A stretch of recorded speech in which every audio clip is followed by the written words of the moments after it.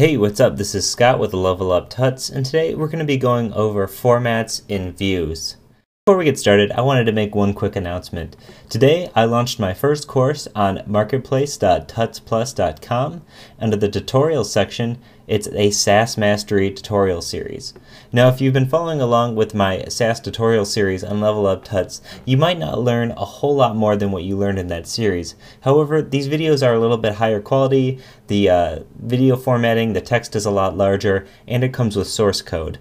So these videos are a little bit more in depth, they're usually about 10 minutes a piece and there's 10 of them. So if you like Level Up Tuts and you want to support and you want to check it out, it's only $8 to purchase the videos and then uh, you can have them on your computer. So it's only $8. So like I said, if you've already watched the Sass sessions on Level Up Tuts, then eh, you know it's no big deal, but if you feel like supporting, you can throw down $8 and get these videos for yourself.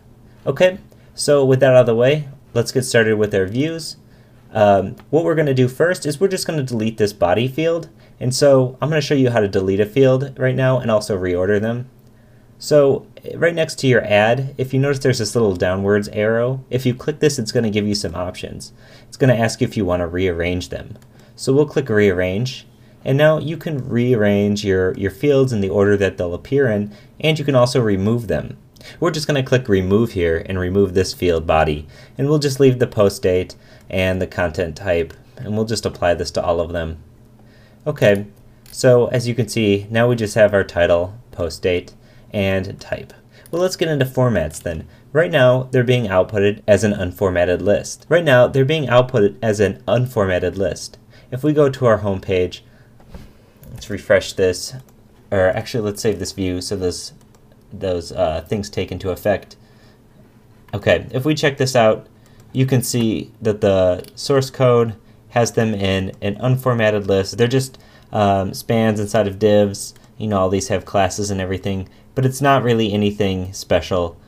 Um, let's so if we edit our view, let's get out of inspect here too. So let's check out some of the other formats to see what we have. So we have a grid, we have an HTML list, which will output a UL with LIs. Uh, we have a jump menu, we have a table.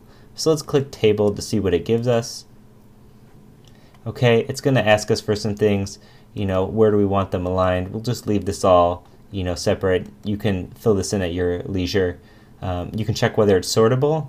Let's actually make these, make one of these sortable. We'll have the title sortable, leave it ascending, um, default sort. Okay, so let's apply this to our display. And as you can see, it's now outputting them as a table. We can see the label is now up top, type label post date, and this one doesn't have a label because we turned it off, so let's turn it back on. Right here for fields, we'll click the title, and we'll just create label, and we'll just say title, just so we can have it here in the table. Okay, so if you'll notice, this title here is actually uh, highlighted here because we selected that this field should allow you to sort it. So let's click this to see it sorting and now it's sorting the other way. You know, you can click here. So if you want your table to be sortable, that's an easy feature in Drupal. Uh, especially with views here, it's a one-click thing. So if we go to our settings under table, it's going to bring you back to these settings that you selected when you uh, first click table. So if you ever want to change anything, you want to make other things sortable, you can always come back here, click settings and get to that stuff. Now you can sort by any of the fields. Um, so you can see this is really nice and easy, especially if you're going to be working with tabular data. So let's click table again to change it to something else. We're going to make it an HTML list. And we'll keep it as an unordered list. You can give it a class. You can give your list a class. You can give your rows a class. Uh, so it's all, all great things here. We save this. Let's inspect these because these are going to come out in the same way that they're going to be on the page. So what we have here, let's see if we can see this a little bit better. We have a div inside of an li. Our li is the entire little bit here. So the li includes the title, the created date, and the field type, all in that. And they're just divs inside of there and then spans inside of that. So I'd say if there's any downside to Drupal, it's that sometimes it adds sort of extraneous HTML elements to your code, but it's not really a huge deal. Um, and you get learn to get around that pretty quickly.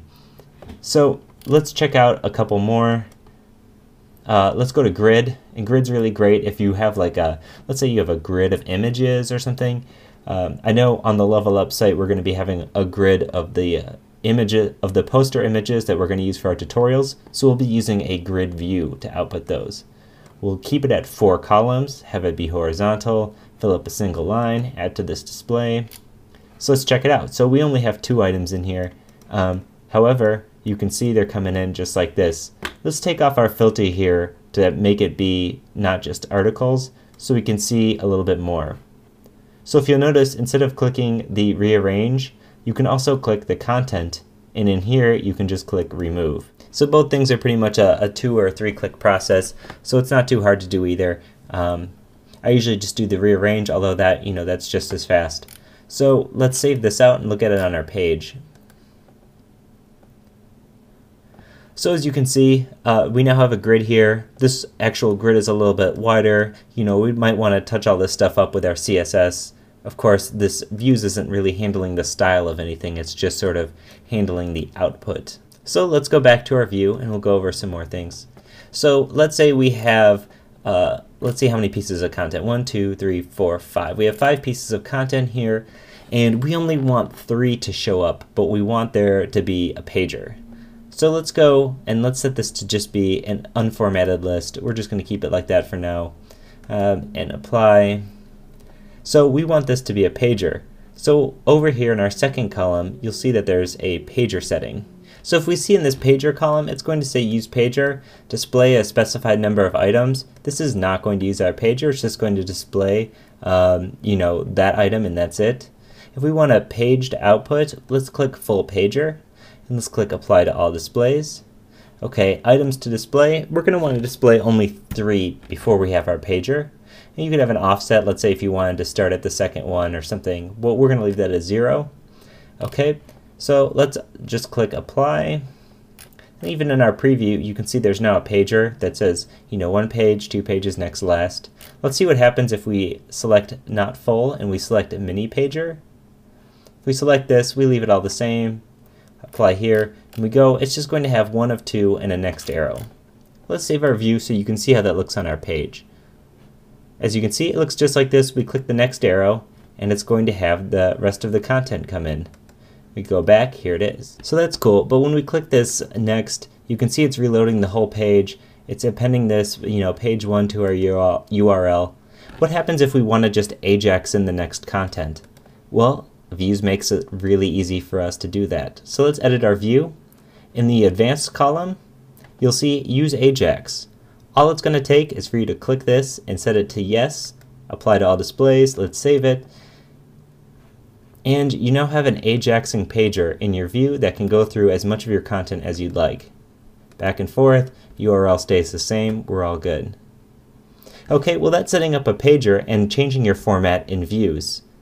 In the next lesson, I'm going to move away from views for one lesson just to show you something new. Uh, I'm going to be using uh, IMCE and IMCE Bridge to show you how to add an upload image field into your WYSIWYG. So this is different than the insert image that we did last time, and I'll go over the more specifics in that video.